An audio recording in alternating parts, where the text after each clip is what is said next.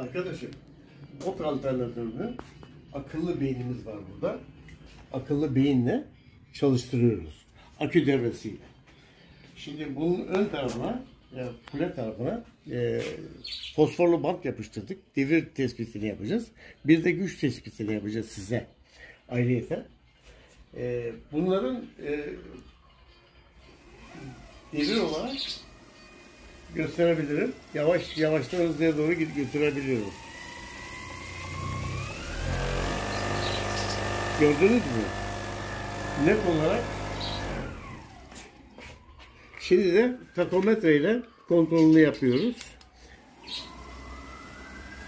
Ne kadar isterseniz ne kadar isterseniz o, o kadar devirde dönebilir bu. Yani 1550, 1570, 1600, 1700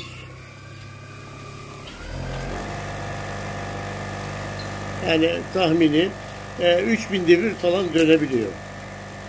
Net olarak size göstermek için bunları yapıyoruz. Bir de güç fonksiyonunu ölçmek için yapacağız.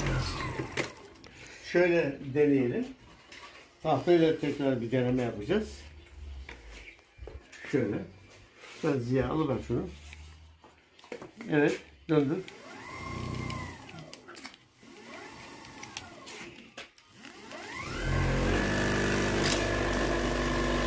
Mümkün değil. e, Durdurma şansınız yok. Durmadan döner bu.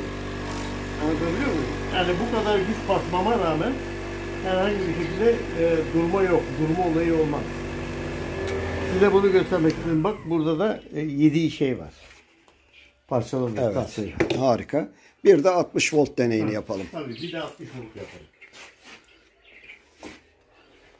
Şunu 60 volt şuraya bağlı. Evet tamam bağlayayım onu. Oldu. Evet şimdi 60 volttaki e, devir ve devir ölçelim. 60 voltun devri 48 voltta 3000 devirde. devir yaptı. Şimdi Buraya yazalım. Buraya 3000 devir diye yazalım. nerede o? Kalem. Kalemimiz neredeydi? Neyse. Ya sonra Al. Al şuraya 3000 devir 3000 yaz. devir yazalım şuna. 3000 devir bölü dakika. Şimdi 60 voltu Şimdi test 60 edelim. volta bağladık. Takometreyi al. Heh. 60 vo- 60 volta da yani 48 ile 60 voltun arasında e, 3600 yani 3640. 46 devir dakika devir yapıyor ve, bu- 3600 devir diyelim. ve bunu e, mümkün değil